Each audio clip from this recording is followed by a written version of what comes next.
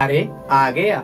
दोस्तों, बहुत दिनों से फेसएप जो है, बहुत ही बवाल मचा रहा है। बहुत सारे न्यूज़ वगैरह बन रहे हैं, कुछ पॉजिटिव तो कुछ नेगेटिव अब ये देख के जिन्होंने अपने फ़ोन पे इसको इंस्टॉल किया था, वो भी अपने फ़ोन से इसको डिलीट कर रहे हैं। जिन्होंने भी मज़े वगैरह लिए, अब उनको लगता है कि ये सारे अपने डॉक्यूमेंट्स वगैरह वहाँ पे सेंड हो जा रहे हैं। या फिर अपने फ़ोन से डाटा वगैरह उड़ जाएँगे। तो आज की इस वीडियो में हम जानने वाले हैं इसकी पूरी सच्चाई। नमस्कार दोस्तों, मैं आकाश, स्वागत करता हूँ सभी का लोकल टेक्नोलॉजी एक्सप्लेन के एक और फ्रेश एपिसोड में। तो फिर चलिए आज का वीडियो शुरू करते हैं।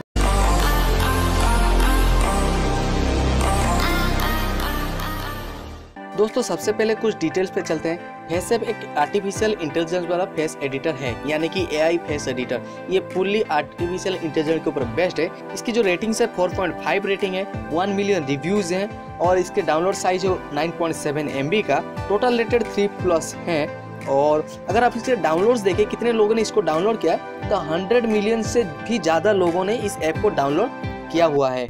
यहाँ पे बहुत सारे फिल्टर्स यूज़ होते हैं, जैसे कि आप ये देख सकते हैं, ये बहुत सारे फिल्टर्स यहाँ पे यूज़ होते हैं। इसी के लिए इसको यूज़ किया गया है। खास करके ये सेल्फी के लिए ही ये ऐप को बनाया गया है। ये जो ऐप है, ये रशियन की ऐप है, यानी कि आप देख लीजिए, जो चाइनीज़ ऐप आते हैं इंडियन ऐप आते हैं, ठीक इसी तरह ये जो ऐप है रशिया में डेवलप की गई है। अगर रीड मोर पे आप क्लिक करें तो यहाँ पे आपको दिखाएगा अबाउट दिस ऐप और इम्प्रूव में आपको दिखाएगा Hollywood ready selfies with impression filters change hair colour and style और थोड़े नीचे जाते हैं हैव फन में आपको देखने को मिलेगा। ये जेंडर को चेंज कर देता है। अगर आप मेल हो तो आपको फीमेल कर देता है। फीमेल हो तो मेल भी कर देता है। चेंज योर एज अगर आप बच्चे हो तो आपको बूढ़े में कन्वर्ट कर देता है। अगर आप बूढ़े हो तो आपको बच्चों में कन्वर्ट कर देता है। ऐप इन्फॉर्मेशन में चलते हैं, ठीक है? सर वर्सन इसका है 3.4.10 अपडेट ये जो रिसेंट अपडेट है तेईस जुलाई 2019 को हुआ है। डाउनलोड साइज़ आपको पता है 100 मिलियन प्लस डाउनलोड्स हैं। और ये जो ऑफ़ रिलीज़ हुआ ना, सब लोग सोचते हैं कि ये एप्लीकेशन जो है नया नया मार्केट में आया नया नया रिसेंटली लॉन्च हुआ है, लेकिन नहीं, ये जो एप्लीकेशन था, ये 14 फरवरी 2017 को ही लॉन्च हो चुका है।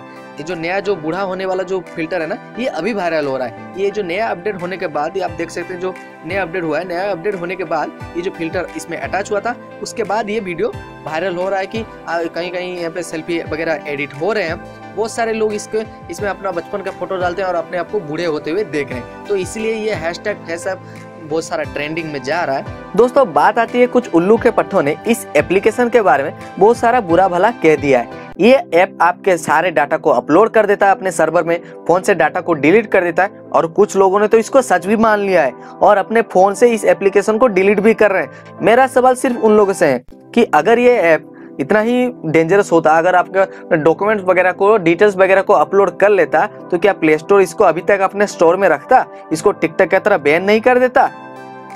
अब समझदार को इशारा ही काफ़ी है। अगर आपको डर लगता है तो इस ऐप को इस्तेमाल मत करो। इसको क्या? कोई भी सोशल प्लेटफॉर्म में अपने फ़ोटोज़ डिटेल्स वगैरह अपलोड मत करो। वो सेफ़ है। एडिटिंग सॉफ्टवेयर फ़ाइल और स्टोरेज की एक्सेस की परमिशन मांगती ही रहती है। ठीक है? अब समझदार को इशारा काफ़ी अगर आप उस एप्लीकेशन को यूज़ कर रहे हो तो इसमें, इसको इस्तेमाल करने में क्या प्रॉब्लम है? अब आप देख लो।